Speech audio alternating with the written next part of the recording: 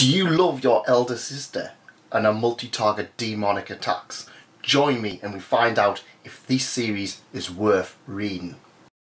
That man and his merch. Hello and welcome to That Man. That is me merchandise and today we are talking about the elder sister like one. And wow, this was an interesting series that I hadn't really heard much about, but is one that had really taken off in Japan. I mean, she's a devil girl sister. What's not to love? Now, most of you who follow this channel are already aware of the series Do You Love Your Mom and a two-hit multi-target attacks and I'm really excited to see that the person who draws the artwork for this series draws the artwork for the elder sister like one, which is already something that makes it so... When an orphan encounters the eldritch demon Shub Niggurath, the black goat of the woods with a thousand young, she offers him one wish. His request? Become my big sister. Honestly, when I first heard about this series, I wasn't sure because I thought it was going to be that kind of, kind of creepy little story. Um, it, it's pretty obvious that in Japan we tend to have a lot of series that focus on younger girls being the, the adorable younger sister. It's not often that we have the older sister as a main protagonist or slash loved one and that's one of the things I kind of liked about this. It, it, it doesn't kind of have the whole fetishness of younger people that other series awkwardly stumble around. And this is just kind of like yep do you want this sister who's not related to you? She's a beautiful demon girl. Knock yourself out. And I honestly genuinely enjoyed my time with this one. It's a series that we don't see a lot of. It. If you've read the Mom Isekai one, you pretty much know what you're going to get into. It's about a demon girl who just wants to belong. She just wants to be loved by humans. She hasn't really done anything wrong. And a young man who just wants to be acknowledged. He's classed as a cursed child. He can see demons and stuff like that. He wants to be loved by someone. So already he kind of straight away goes, I want an older sister, please be my older sister, and she grants that wish. Most of the stories in this pretty much plot around the whole of a day-to-day life, and I liked that. It wasn't really a, an, an, epic fantasy adventure, which I was expecting when I kind of went in. I'm not gonna lie, I really expected another Mom Isekai uh, thing with this. Instead, it's just the whole build-up with the young man and the demon older sister and then it's just kind of day-to-day stuff. But then it gets very comfortable. And this is the kind of stuff like we have the lap pillows and we have the ear cleaning thing which seems to be a thing. Yeah. And it all feels very snug and warm and very caring. Um, yes there is a lot of ecchi scenes in it and it kind of feels a little bit more appropriate. She doesn't know how to act as a human because she's a demon. And he's kind of the whole awkward fumbling around being, well, I'm a young male kind of thing, but I've asked her to be an older sister. I just want to be loved by my older sister. I kind of have the impression that by the end it's going to be a romance and they're going to end up getting together.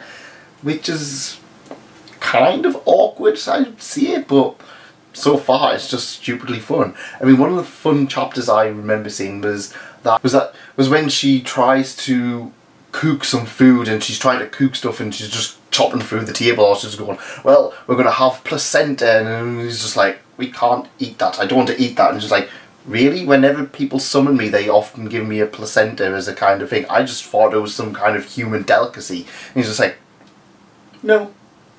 No, it isn't. And one of the other things I'm kind of noticing is that we, I, I think it's going to end up as a kind of a, a fighting manga. He can see these other devils and he can see these other monsters and stuff like that, these shadow things. And she's just like, oh, well, not many normal people can see that. And he's just like, oh, I've always been able to see them. They've kind of just been, they were uncomfortable, but now I just kind of stay out of the way. And I kind of like, well, she's a devil or she's a demon he can, he can see them, they're probably going to end up fighting them or it's going to be like a Yu Yu Hakusho or Bleach kind of thing I'd imagine. Except with more boobs. More boobs. I know Bleach was kind of uh, a little bit like that anyway. But I'm really intrigued on where this is going. My only issue at the moment is that at the moment it only seems that there's three volumes. Um, I've only read volume one with the intention of buying two and three. I really hope there's more Um, I can still listen for Volume 4, but it doesn't look like it's been released. And in English, Volume 3 was the last one that was released back in May. Yeah. Um, not gonna lie, I really hope there's more of this, and I really hope he is doing a little bit more of this because from what I read so far, I really enjoyed and I really want more of it. Not gonna lie, this artist really, really likes to draw older women. Which is completely fine. I don't mind the fact that he's actually drawn older women. And it's a nice difference to other series where it's just all schoolgirls and Kia where it's like I'm a majestic, beautiful older woman. I'm all mature. But maybe that's because I love Nico Robin as my favourite character. Hmm. That might be why. The series already seems to be rather popular in Japan, with multiple figures released and on their way. A crossover with the mom isekai is also due to come soon. Overall, I would definitely say the elder sister like one is worth your time. It's fun, it's not overly ridiculous and it's not as ecchi as you would expect it. It's got moments here and there, but it's not that you're going to be able to read it and you're going to be able to you're going to have to hide it from someone you love or whatever. It's not you, you might get a little bit judged, but it's not over the top ridiculous that you kind of be like, I can't read this ever.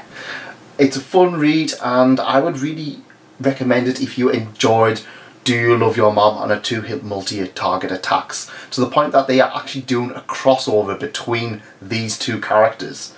Yeah, I can't wait for that. I'm really excited. Fact, that's probably one of the more exciting things. There's not an anime so far, which I was quite surprised about. Needs an anime. I think once the, once the anime gets off, this will really take off a huge amount. And the question is, do you like the elder sister like one? Let me know in the comments. And is she best girl? Hmm, she's got a she's good contender. But then again, maybe everyone's just best girl that's it from me. Thank you for coming. Thanks again for staying. If you did enjoy this, please leave a like. Please consider subscribing. And I'll see you next time. Goodbye.